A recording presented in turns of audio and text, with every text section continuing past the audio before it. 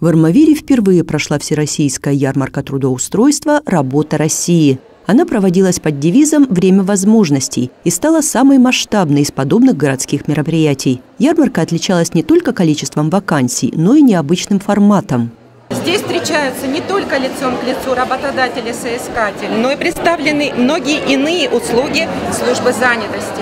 В частности, граждане могут узнать, о, как возможно повысить свою профессиональную компетенцию, какие профессиональные программы можно пройти в городе. Участниками ярмарки стали 56 работодателей, которые представили 650 вакансий. Это рабочие места в сфере промышленности, сельскохозяйственного производства, торговли, транспорта. Учебные заведения предлагали свои услуги по повышению квалификации и переобучению граждан. Екатерина Домрачева приехала на ярмарку из станицы Григора-Полисской. Она работает в сельскохозяйственном техникуме и хочет подыскать здесь рабочие места для своих учащихся. Екатерина Анатольевна приятно удивлена масштабом мероприятия и уверена, что такие ярмарки очень полезны. Несмотря на то, что сейчас век технологий да, цифровых, не все хотят и могут пользоваться поисковыми системами. И очень многие люди настроены именно на общение глаза в глаза.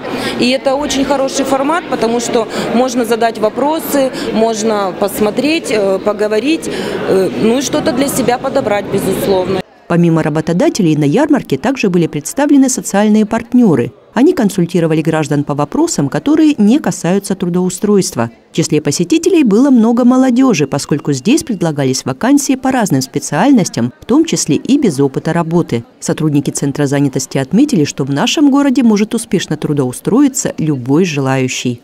Уровень безработицы на сегодняшний день 0,3%. Безработных 350 э, граждан, которые состоят на учете в качестве безработных.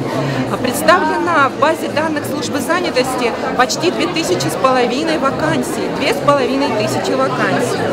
А, э, заработная плата самая разнообразная, до 100-150 тысяч рублей. Ярмарки вакансий проводятся в нашем городе два раза в год, но это мероприятие стало особенным. Подобные ярмарки одновременно прошли во всех муниципалитетах Кубани. По статистике они очень результативны. Рабочие места находят до 30% участников. Влада Волошина, Евгений Халманских, служба информации телеканала 360 «Армавир».